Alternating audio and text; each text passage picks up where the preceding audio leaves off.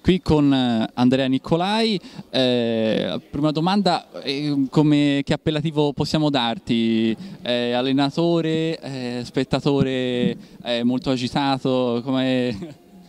Ma diciamo che sono un allenatore virtuale perché tutta la settimana il lavoro è profondo e, e è grosso e impegnativo. Eh, la partita cerco di arrangiarmi cercando di, di dare qualche indicazione così. Eh, credo che fino ad ora siamo riusciti a arrangiarci appunto e si è vinto due partite importanti con Omegna e stasera, quindi eh, siamo contenti e soprattutto eh, devo ringraziare i ragazzi che veramente non è facile, la situazione non è al di là di tutto, non è facile, loro ci stanno mettendo tanta applicazione, tanta voglia e tanta concentrazione perché chiaramente è anomala.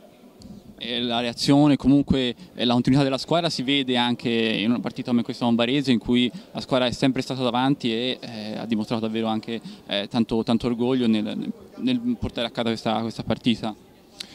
Sì, la cosa che mi è più piaciuta è veramente proprio la voglia di, sbuccia, di sbucciarsi le ginocchia, di tuffarsi. Ho contato almeno 8-9 tuffi anche sul più 20, sul più 25. Questa è la mentalità giusta per, eh, per eh, fare pallacanestro, per, fare, per, fare, mm, per crescere e anche per diciamo, tra virgolette, fare innamorare magari i nostri, i nostri, appassionati, chi ci segue, che credo che eh, gli piaccia vedere queste cose. Poi in più stasera ci sono state anche buone percentuali che aiutano sempre, ma noi dovremo cercare di costruire una pallacanestro che al di là delle percentuali con la difesa, con eh, la mentalità ci permette di, di stare lo stesso in partita e di essere competitivi lo stesso. Infine una piccola, piccolissima considerazione su, su, Costi, è stato lanciato bene, ha retto molto, molto, bene il campo e è andato eh, a segnare i primi due punti della sua carriera in B.